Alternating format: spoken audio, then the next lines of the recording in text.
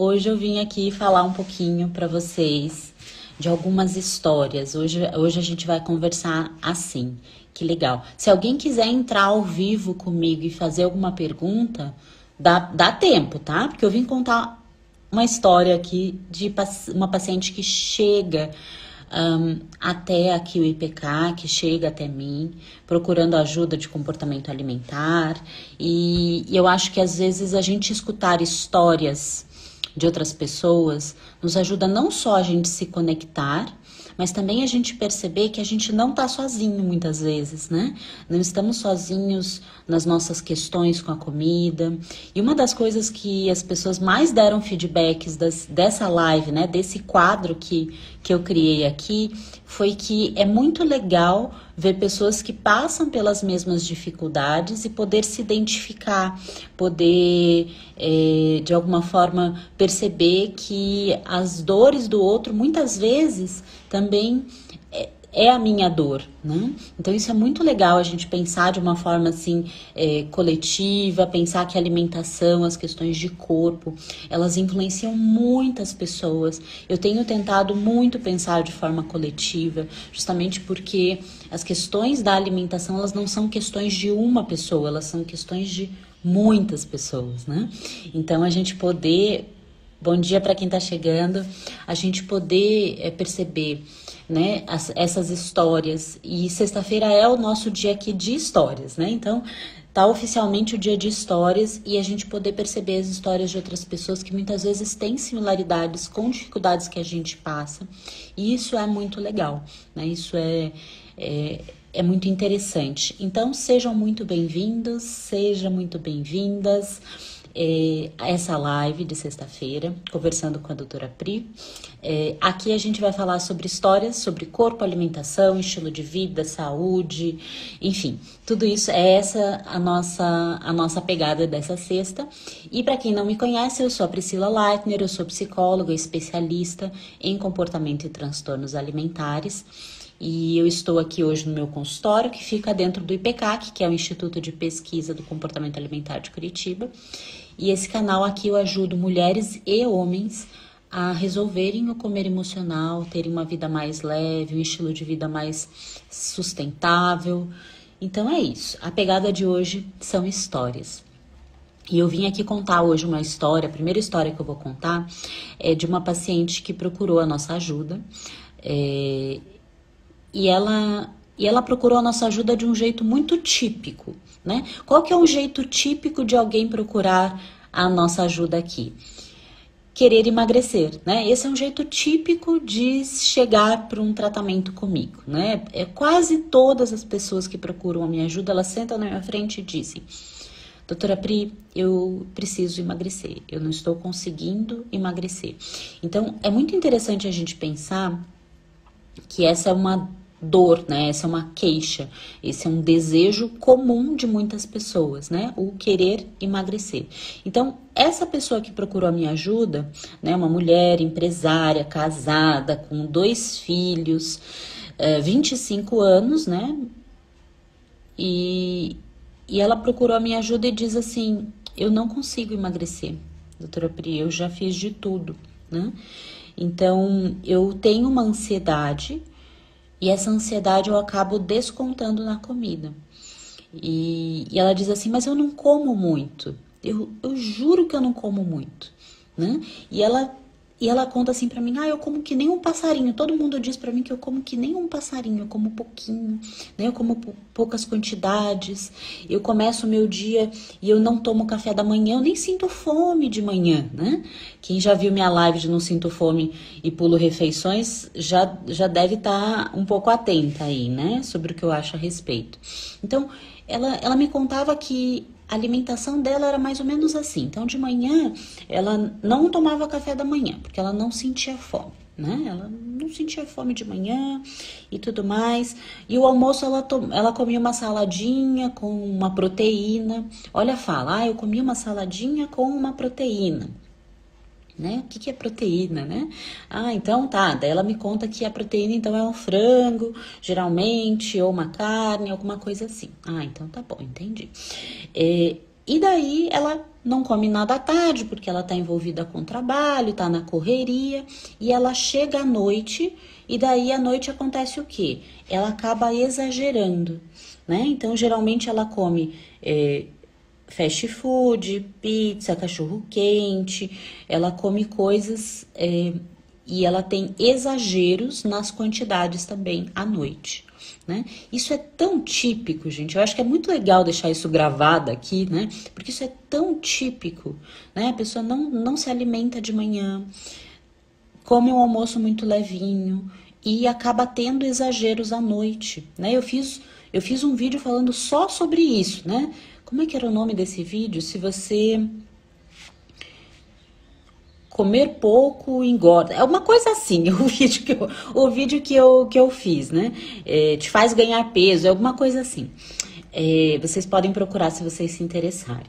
Então, é tão típico um recordatório assim, né? Então, de manhã tem essa, essa alimentação quase inexistente, e se a gente olha, né, para a alimentação dessa pessoa, a alimentação dela tá toda tendendo para o período da tarde e noite, né? É muito maior, né, a quantidade de alimento na tarde e à noite e muito pouco de manhã, né? Ah, tem uma pergunta ali. Oi para quem está chegando. Quando poderia ser o contrário, comer mais pela manhã e menos à noite? E, o grande ponto é o que está por detrás disso né? Para quem, pra quem perguntou ali, não sei como que é teu nome, mas se puder me falar teu nome, agora saber o nome das pessoas. É, exatamente, o problema é o que está por detrás disso, né? Porque muitas vezes é, se tenta não comer de manhã e é mais fácil acabar pulando o café da manhã, né? Geralmente as pessoas é, que chegam com um recordatório assim, elas são pessoas que às vezes praticaram jejum intermitente, né? Que vocês já já sabem minha opinião a respeito. Se não sabe, eu tenho vários vídeos sobre jejum intermitente né? Então, oi Stephanie. oi Stephanie. Então, poderia ser o contrário, mas o problema é o que é a intenção, né? Eu acho que o grande ponto do, da, da alimentação, né, que aí vamos abrir um parênteses, Stephanie, que eu acho que é legal o teu comentário. O grande ponto da alimentação nesse parênteses que eu vou explicar para ti, não é necessariamente isso é certo, isso é errado, ou isso pode ou isso não pode, né? É muito mais assim, é, a resposta do corpo não está sendo ouvida muitas vezes, né? Então, o que, que é alimentação consciente e intuitiva, que é a técnica que eh, eu ensino aqui no, meu canal, para os meus alunos, para os meus pacientes? É a gente parar de ouvir o externo, né? O certo e errado externo, e a gente perceber aquilo que funciona para a gente né? Então esse que esse que é o ponto legal, porque provavelmente a pessoa que vem com comer emocional muito forte, ela é uma pessoa que ela já não percebe muito os sinais internos, né? Justamente porque ela tem um comer emocional, né?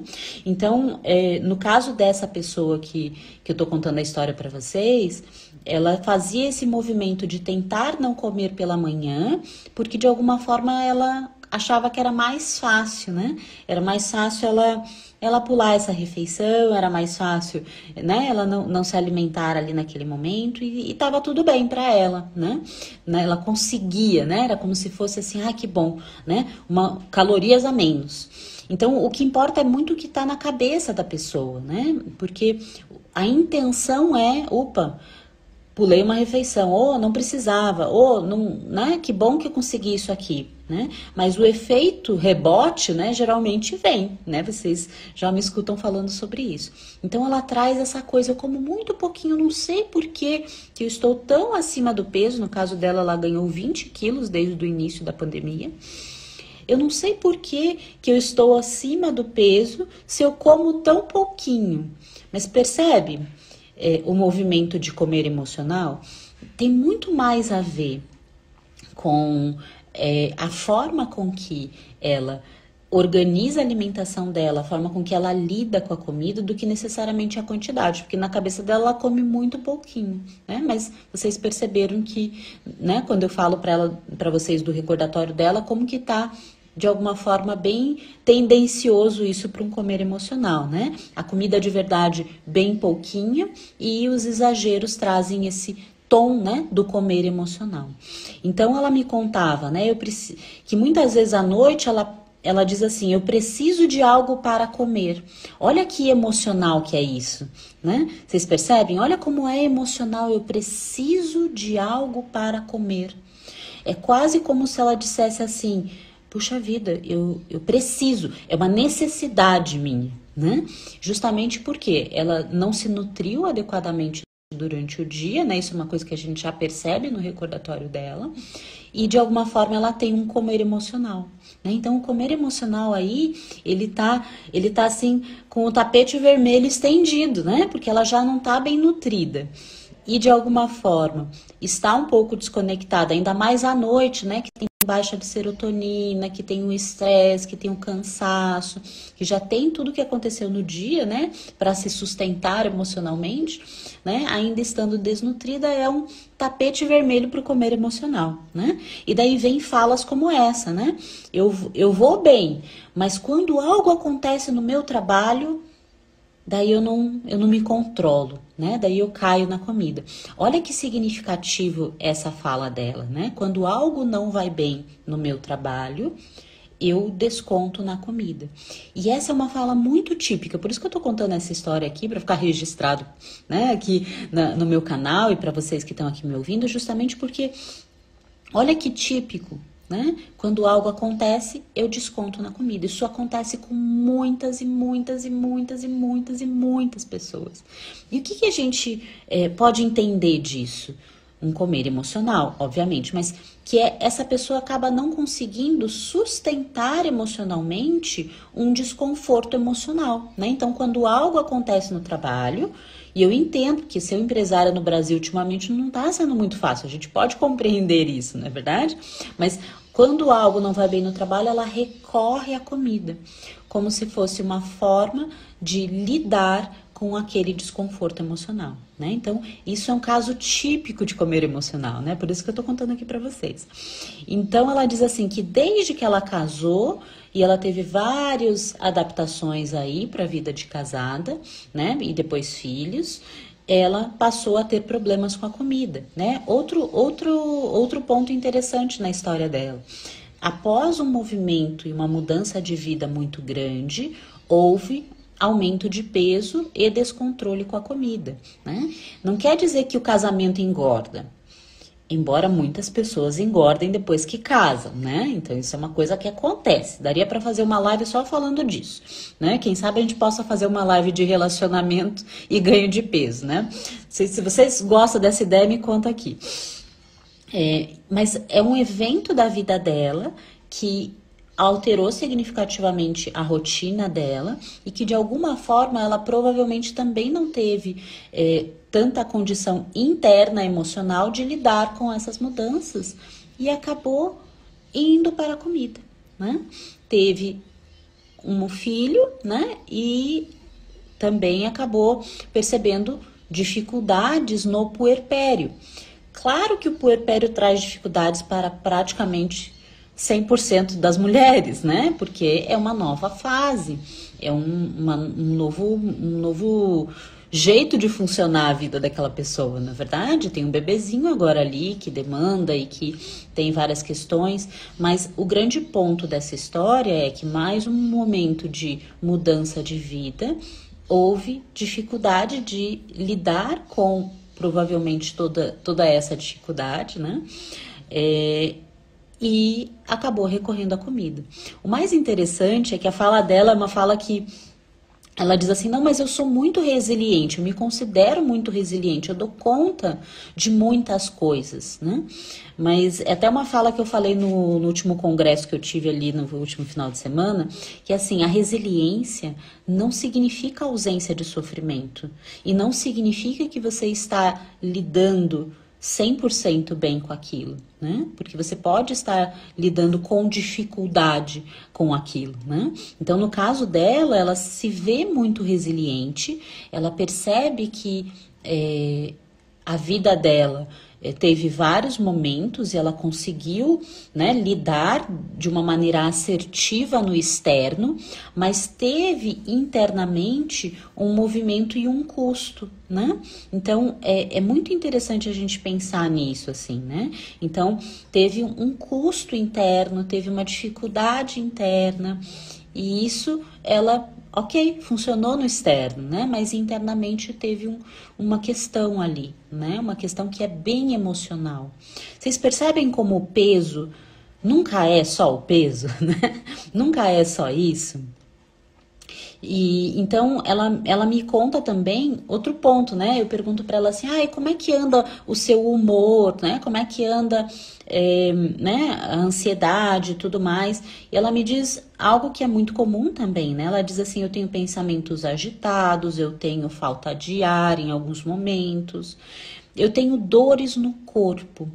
Outro, outro tema muito interessante, né? A gente poder perceber o quanto que o corpo somatiza questões e essas questões, elas muitas vezes elas aparecem aí por dificuldade, inclusive, de lidar com questões, né? Então, ela traz essa dificuldade de sustentar mudanças na vida dela, no histórico, e no momento atual, ela traz esse corpo que dói, né? Esse corpo cansado, esse corpo que de alguma forma tá. É, com dificuldade de sustentar aquilo tudo. Olha uma frase dela: parece que tá o mundo inteiro nas minhas costas né? Porque ela tem muitas coisas para lidar e ela sente esse peso de lidar com isso. E o que está faltando aí mais uma vez? Suporte emocional para lidar com isso tudo né? Então ela diz que ela tem irritação, que às vezes ela se sente sem energia, que também é uma queixa muito comum ultimamente, né? Me sentir desvitalizado, sem energia, desanimado, né? Um ponto positivo dela é que ela dorme bem e o sono geralmente está ruim na, nas pessoas que, que, que chegam para minha avaliação. E ela faz atividade física, mas ela faz atividade física assim, eu faço porque eu quero emagrecer, não porque eu vejo sentido em fazer atividade física, que é outro ponto interessante, né? A relação que a pessoa muitas vezes tem com a atividade física, em pessoas que são praticantes bem ativos de dieta, né, desses processos de emagrecimento mais típicos, geralmente é ruim. Ela, a pessoa vê a atividade física como uma forma de emagrecer e não com todos os benefícios, com todas as coisas que a atividade física traz, né? Então, é, essa pessoa que procura né, a nossa ajuda, ela traz exatamente isso, ela traz um comer emocional com características muito típicas, né? Características de alguém que, que precisa, né, das técnicas do comer intuitivo. Eu vi que tem uma pergunta ali do comer intuitivo, eu já respondo. É, utiliza as técnicas do comer intuitivo justamente para que ela possa organizar a alimentação, né? Ela poder pegar as técnicas, organizar a alimentação, mas aprender a sustentar emocionalmente também tudo aquilo que acontece com ela. Vocês percebem que o grande ponto está sendo emocional? Porque às vezes é, é, esse o ponto cego de muitos, muitas pessoas que buscam emagrecimento, né? Ela precisa perder peso? Precisa. Ela ganhou 20 quilos na pandemia, bastante coisa, vocês concordam? 20 quilos é muito peso, né? Então ela, ela tem uma questão aí legítima com o peso. Mas qual que é o grande problema? Que ela olha para aquele ponto que é um ponto extremamente limitado, que é o ponto do que eu estou ingerindo né? E ela faz tentativas de comer cada vez menos, cada vez menos, cada vez menos e não se olha para o comer emocional. E todo o movimento dela aqui, conforme eu fui contando para vocês, vocês foram percebendo que tem uma dificuldade emocional ali, né? É algo muito grave? Não, é uma pessoa que, com as técnicas certas, ela consegue resolver isso aqui muito fácil, né? E a perda de peso se daria até de forma bem suave e natural né? Seria muito legal, né? Pessoas assim perceberem que tem uma história parecida com essa, perceberem que o problema é onde eu estou olhando, né? Se eu olho para o comer emocional, eu vou conseguir sim, né, levar isso para um lado mais positivo. Se eu fico olhando somente porque eu estou ingerindo, muitas vezes você vai acabar fazendo um processo muito raso, muito incompleto e de alguma forma você vai sabotar este processo, né? A nossa, o nosso, a nossa mente, a nossa psique, ela é muito forte e ela é muito boa em sabotar processos, né? É... A Stephanie mandou outra pergunta ali. Ela falou assim: consigo seguir uma alimentação intuitiva com intenção de hipertrofiar? Pode falar sobre isso um dia? Vou falar sobre isso um dia, num outro momento, né? Porque eu acho que não desviaria um pouco. Mas assim, a alimentação intuitiva, ela tem como uma base, Stephanie, assim, só para falar um pouquinho sobre isso agora. Ela tem como base, né? O aceitação corporal, a percepção do, do, próprio biotipo, né? A respeitar o corpo nas necessidades dele. Então, é bastante é contraditório quando a gente pensa em estar intuitivo, seja com é, alimentação ou com atividade física, porque a atividade física também pode ser muito intuitiva, e eu querer transformar o meu corpo em algo que ele não é, né? Então, o, a hipertrofia, ela precisa de constante é, movimento, exercício, coisas para manter aquele corpo. Até uma frase que tem aqui no meu canal, eu já de vez em quando eu repito ela, né? Se você precisa fazer uma dieta muito controlada e muita atividade física para manter um corpo, este não é o seu corpo. Né? Essa é uma frase que eu repito bastante, justamente porque é, você pode sim querer um corpo saudável, um corpo é, magro, você, você pode querer um corpo saudável, não tem nada de errado com isso. Mas a hipertrofia ela está indo para um outro lado, né? Que não é o lado é, de, dessa conexão com o corpo. A, a Jéssica comenta ali: eu sinto que como muito mais sempre que estou estressada. Sim, é verdade, Jéssica. O estresse ele é, eu acho que o caso dessa paciente que eu contei, ele é bem isso também, né? Ela contava isso, né? Que quando algo ia mal no trabalho, né, na, na empresa dela, ela se sentia muito pior e muito descontrolada com a comida. Então é bem típico. E o estresse, ele é, assim, o ponto mais. É, o gatilho mais forte, né, para o comer emocional. Então as pessoas acham que é a ansiedade, os pensamentos, mas não. O estresse ele realmente é um dos que mais é, leva as pessoas para um comer emocional. Então eu acho que faz muito sentido, né? A, a Stephanie também falou, olha que legal. Ah, não, ela disse que ela não consegue comer. Uhum. Então, mas de qualquer forma tem uma, uma questão com a alimentação, percebe? O estresse, é, só para a gente entender o que, que é o estresse. O estresse, ele é um sentimento? Não, o estresse, ele é, é um quadro, né, que tem sintomas psicológicos e físicos, em que a, a pessoa está num estado de tensão. Então, tem muitas pessoas que produzem, inclusive, dores tensionais por conta do estresse. Né? O estresse significa que a gente está, de alguma forma, sobrecarregado, ou seja, com baixa energia e, e com muito acumulado de coisas, e isso vai ficando acumulado no nosso corpo. Né? Então, é muito comum tensões cervicais ou cervicalgias, cefaleias tensionais, aquela cefaleia bem tensional aqui ou, nas, ou na, aqui, né, nesse nesse, na, nas têmporas, aqui na testa.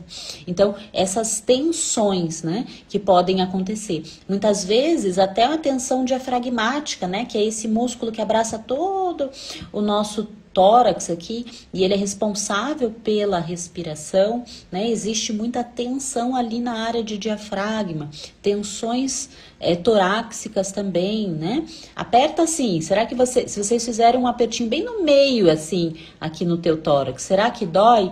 Se estiver muito tenso, provavelmente você vai sentir dor ao pressionar essa área, né? Então a gente vai acumulando um padrão de tensão, que é um padrão muito prejudicial para o nosso corpo. E isso vai fazendo com que você esteja num estado de tensão tanto psíquico como corporal, porque o psíquico e o, a psique e o corpo, elas são dois vasos comunicantes. Se você estressa um, você estressa o outro. Não tem como você estar tá estressado só de um lado ou você estar tá energizado só de um lado, né? São, uh, são do, do, duas metades da mesma coisa, né? Então, tudo que acontece na nossa mente acontece no nosso corpo. Vocês já devem ter ouvido aquela máxima, né?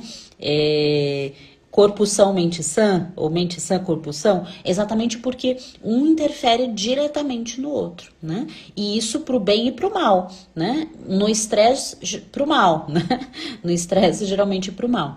Então, o estresse faz todo esse movimento de tensão no corpo, e isso faz com que o corpo libere muitas vezes adrenalina e noradrenalina, que é os neurotransmissores que deixam a gente em estado de alerta, preparado para o perigo, preparado para algo ruim, né? Então isso tudo vai fazendo com que o corpo todo esteja num estado de tensão. E um corpo muito tenso tende a fazer o quê? Baixar metabolismo, baixar energia, né? Então, às vezes a pessoa tem esse estado de baixa energética, né? Ou um estado de frio na barriga, justamente porque o corpo está se preparando para o pior. O que que acelera? O coração e o pulmão trabalha muito, né? Tá respirando, aquela respiração fica curta, né? Então, percebe? Tudo isso vai acontecendo tanto na ansiedade quanto no estresse. Então, são, são tensões muito é, generalizadas no nosso corpo, em vários lugares, né? E a nossa mente, muitas vezes, também muito cansada, né? Muito sem energia, sem conseguir entender, sem conseguir processar, às vezes vocês já perceberam que quando a gente tá muito estressado, a gente não consegue nem entender, às vezes, algo muito difícil que alguém tá te contando, ou às vezes não consegue nem absorver algo? Né? Daí, às vezes a pessoa diz assim: ah, quando eu tô muito estressada, eu sento no sofá e ligo a TV lá, assisto qualquer coisa. Parecendo um pepino do mar, né? Que não, tem, não consegue nem pensar, digamos assim, né? não consegue nem processar. Então, é exatamente esse é, o movimento de um estresse, né? Então, o estresse ele é um dos, dos gatilhos para um comer emocional. A, Stephanie diz que com ela acontece o contrário, mas também afeta a alimentação, né, Stephanie? Mas mesmo assim, e, o estresse ele é um dos principais gatilhos para o comer emocional. Justamente por isso que eu contei para vocês, né? Exatamente por toda essa essa dinâmica, né, que que eu contei. Então, enfim, né? Eu acho que é, essa história ela ilustra. Oi, Aninha, bom dia. É, ela ilustra bastante do que se chega, né? E, e, das avaliações que eu faço, muitas pacientes têm esse perfil. E esse é um perfil uh, e uma história que não só é muito típica, mas é, é uma história que é possível com as técnicas certas de aprender a lidar com estresse, aprender a ter um estilo de vida mais saudável, né? E às vezes focar em várias outras coisas, além da alimentação, vai dar um resultado muito mais interessante do que ficar tentando comer pouquinho, pouquinho, pouquinho, pouquinho, né? E com esse comer emocional é, solto por aí, né? Então, isso fez sentido para vocês, meninas que eu respondi sobre o estresse? Fez sentido para vocês? Me falem.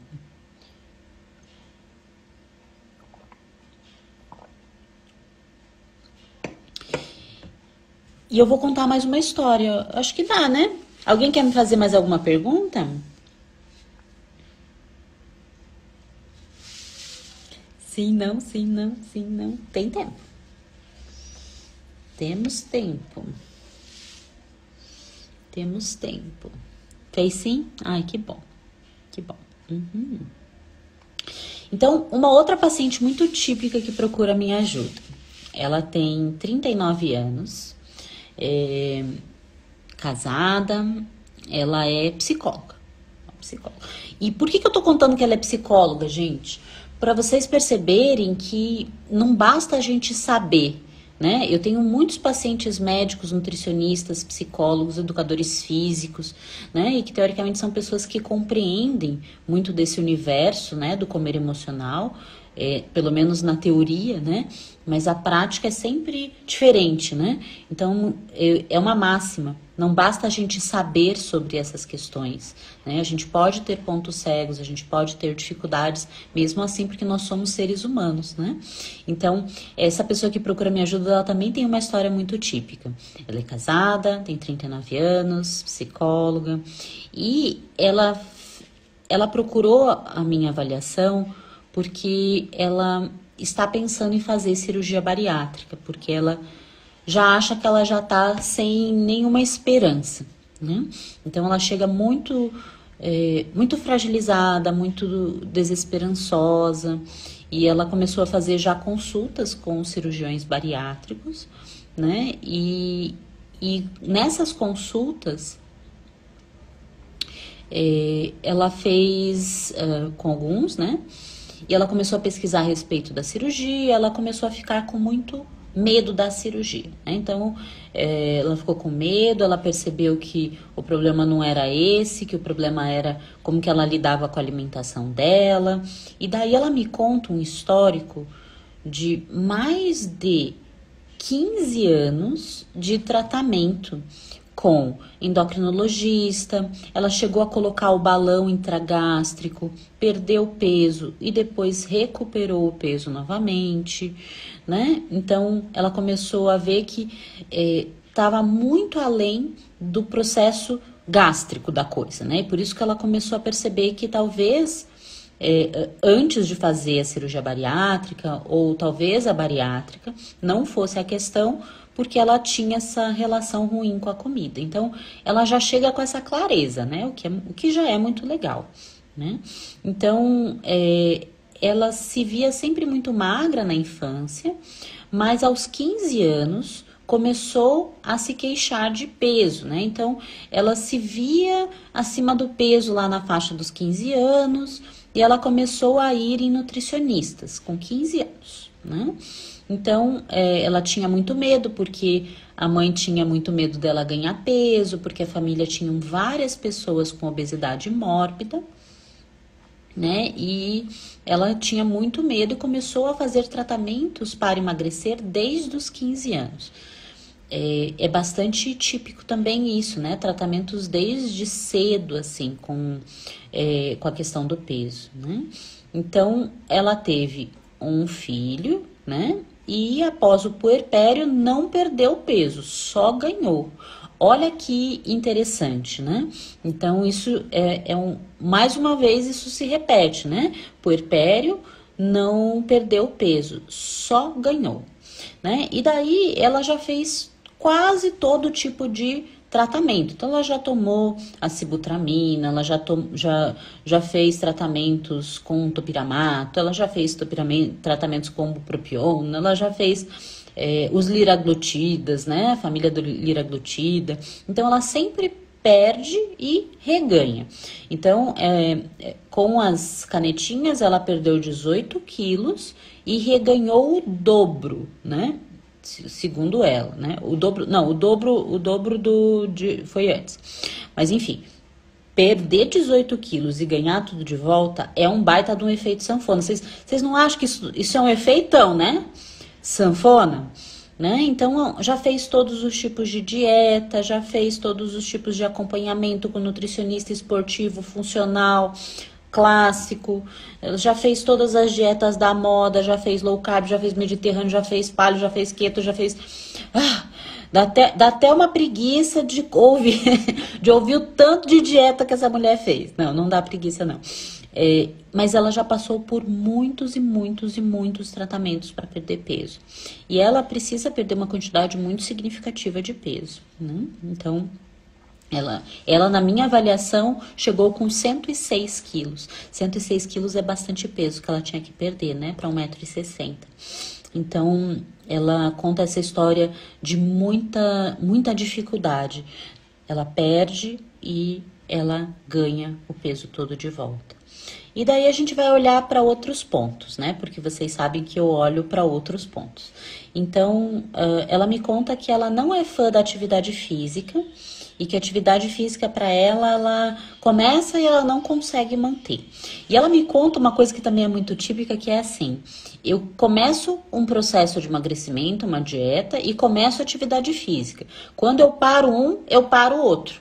Né? Ou seja, é aquela pessoa que de alguma forma ela juntou atividade física com a dieta, ou seja, atividade física só funciona né, na cabeça dela para emagrecer. E daí, quando ela não está tentando emagrecer, ela não está fazendo atividade física. Olha que interessante isso, né? Então, é, sempre é, começa e para.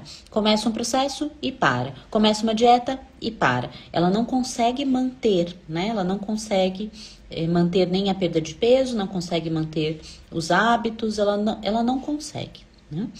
Olha outra questão muito típica, ela diz assim: eu não tenho sensação de fome, porque eu estou sempre mastigando algo, eu estou sempre comendo. É quase como se eu precisasse estar sempre mastigando, né?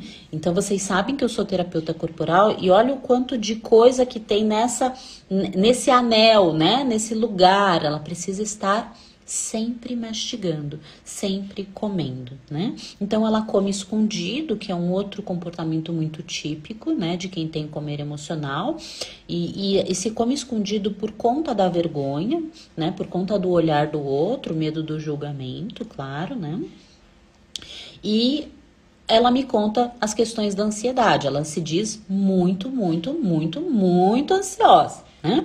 E dela diz assim: que a ansiedade dela é mais de pensamento, né? Ou seja, um pensamento agitado, um pensamento mais acelerado. E ela diz assim: eu tenho bruxismo. Olha um outro ponto de tensão, né? Oral, né? Então, o bruxismo também é uma dificuldade em se liberar a agressividade, né? Se liberar a energia neste local, né? Então, ela tem dois pontos, né? A necessidade de comer bastante, o tempo todo ela tem que estar tá mastigando e coisas crocantes né? Segundo ela, e ela também tem o bruxismo. Então tem uma questão corporal aqui bem típica, né? Bem é, que chama atenção. Não sei se vocês compreendem isso, né? Mas é, é, é, um lugar de muita atenção. E a nossa mastigação é uma das formas da gente, de alguma forma, liberar né? A agressividade, essa, essa energia que fica aqui. E no caso dela, tem bastante coisa tensa ali, né? Então ela também se sente muito taquicárdica, irritada, sem energia. É, acaba tendo dificuldade para dormir porque fica pensando muito, pensando, pensando, pensando, né? Tem uma insônia de indução, ou seja, para induzir o sono, ela tem dificuldade, né? É, e muitos pensamentos com a comida né? Até saiu ontem um videozinho, um pedacinho de um videozinho meu, né? O pensamento sobre comida muitas vezes é obsessivo em algumas pessoas que têm comer emocional, né? No caso dessa paciente, ela tem esse pensamento obsessivo com a comida.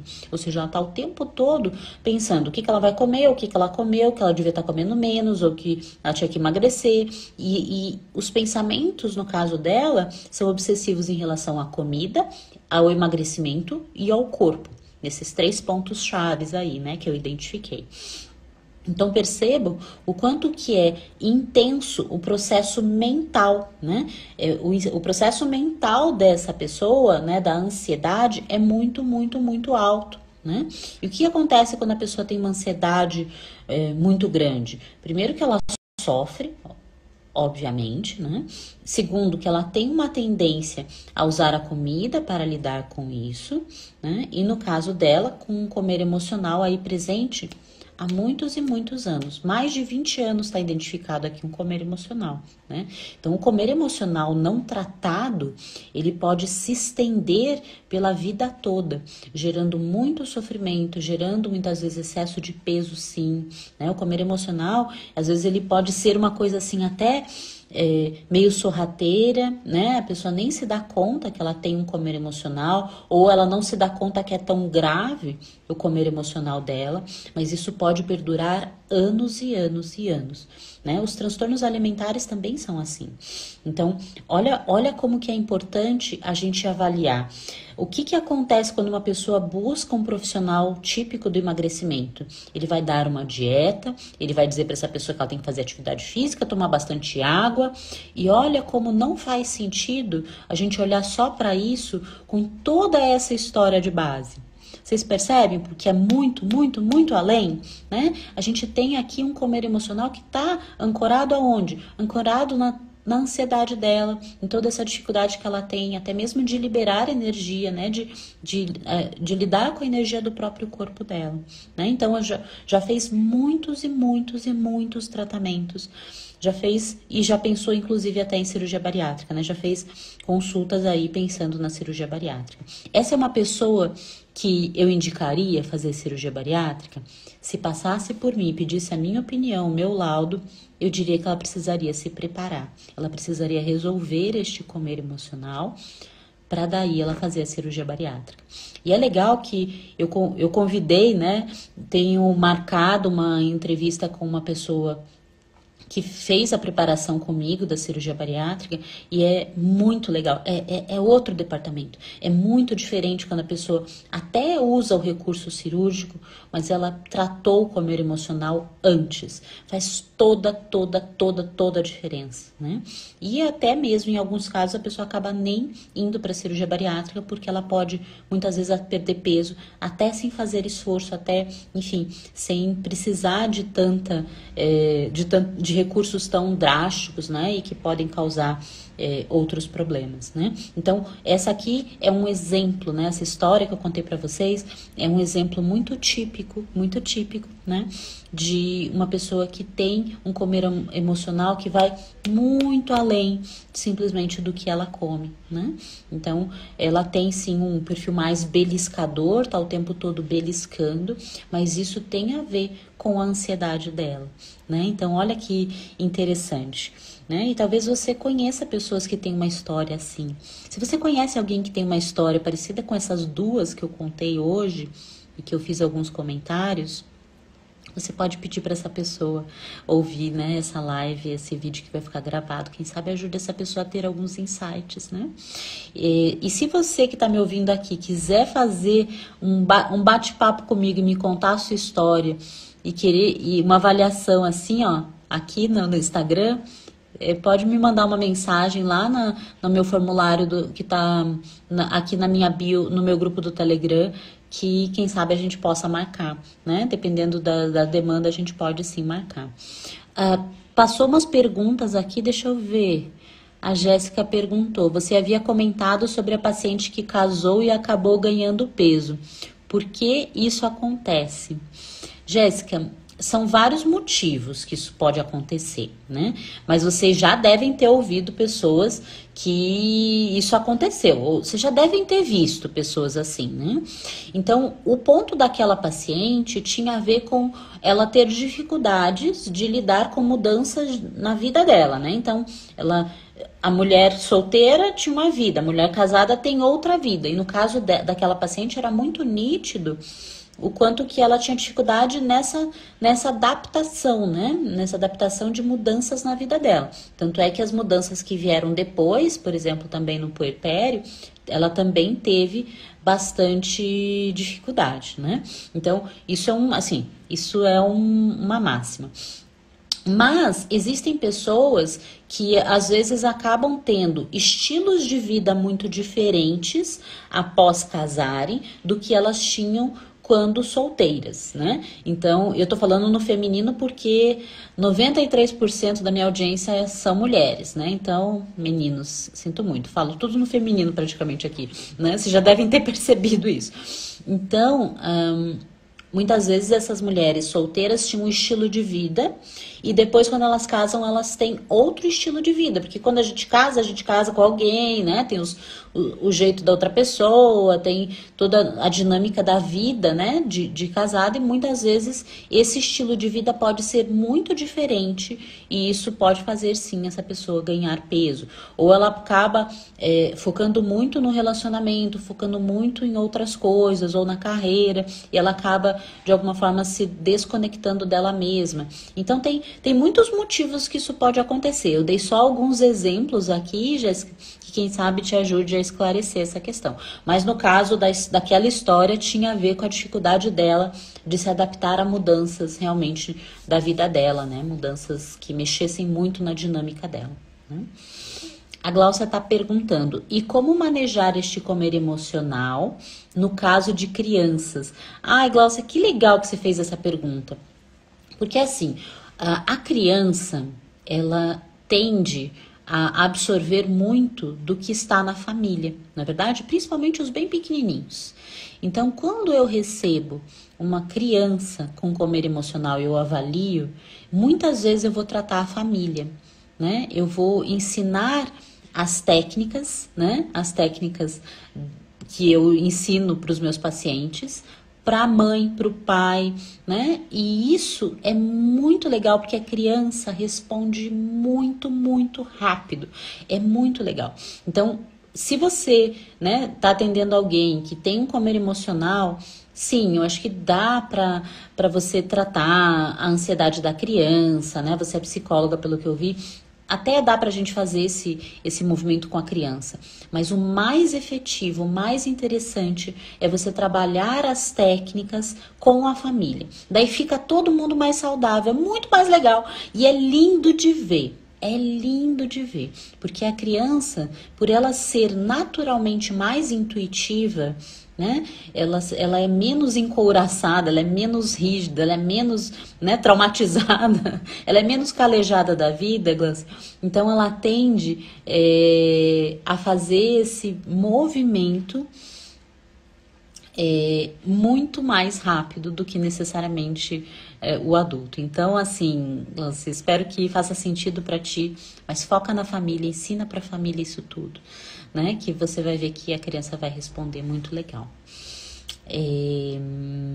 Ah, oi, Pati, obrigada, beijos. É... No início do ano estava num período agudo de crise de depressão e compulsão alimentar.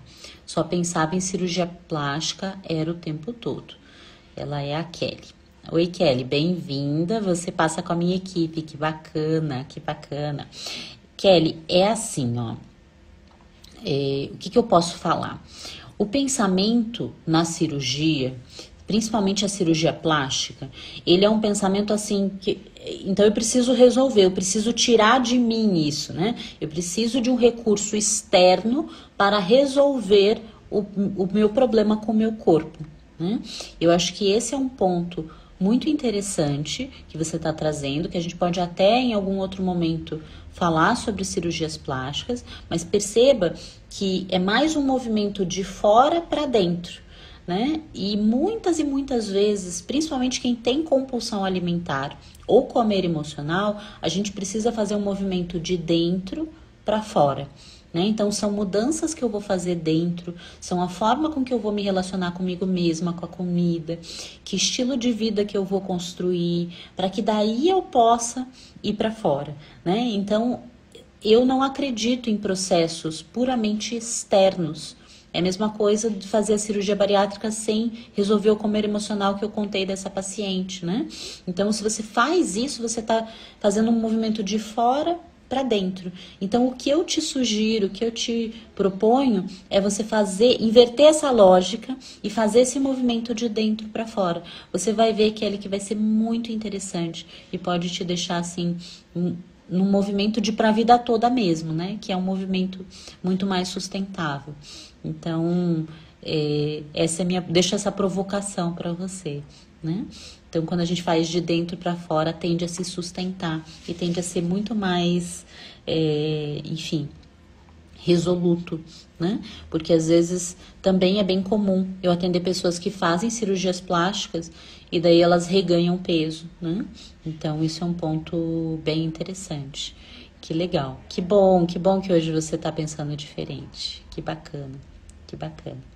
Muito bom. E que a gente possa construir cada vez mais essa rede, né? De histórias. E por isso que eu deixei hoje essas duas histórias aqui para vocês. E são histórias muito. que podem gerar muita identificação, são muito típicas, né? De comer emocional. É, e, e, também são histórias de pessoas que de alguma forma já estão nesse caminho e hoje já não tem mais um comer emocional desse jeito, né? Então isso é muito legal, a gente poder ser essa rede aí de coisas boas, energia positiva, né? E, e conexão, né? Uma nutrição mais afetiva. Oi, Rafaela, conheci a alimentação intuitiva com você, estou mantendo peso e me sinto cada vez mais conectada comigo. Ai, que bonitinho, Rafael. Se você quiser contar a sua história em algum momento, faz um contatinho comigo, Rafael. Porque é isso que faz a gente ser essa rede, né? A gente poder inspirar outras pessoas. Então, esse quadro, gente, foi uma ideia meio do nada, assim, que eu tive. E, e só os feedbacks que eu tenho recebido têm sido, assim, muito. Sabe aquele quentinho no coração que dá quando a gente percebe que isso aqui está fazendo toda a diferença? Então, muitas pessoas têm me escrito, têm mandado mensagem no meu direct ou nas outras redes sociais me dizendo que é, elas se sentem conectadas, elas se sentem é, pertencentes, porque elas se achavam erradas, é, o patinho feio e tudo mais. Então, né, é legal gerar essa conexão e inspirar pessoas a terem uma alimentação é, mais afetiva, né? Um, um contato com o corpo também mais acolhedor, né? Então, que legal. Então, pessoal, era hoje isso, nessa live de hoje. Semana que vem eu volto com mais histórias. Tem algumas histórias já agendadas. Quem quiser falar comigo e quem quiser estar comigo aqui é muito, muito, muito, muito, muito, muito, muito bem-vinda. E é isso. Estamos terminando. Um um beijinho para vocês. Ó, Rosana tá aqui. Oi, Rosana, tudo bem? Oi, Ana. Uhum. Que legal. Uhum. Então, que bom que bom que vocês estão mandando esse calorzinho aqui para mim, tô feliz. Ah, que bom, que bom, que bom, Rosana. Então, pessoal, uma boa sexta-feira para vocês, bom final de semana e a gente se vê por aí, né? Próxima live terça-feira vai ser muito legal também. Espero vocês lá, terça-feira às 8h30 da noite, tá bom? Um beijo, até, tchau, tchau.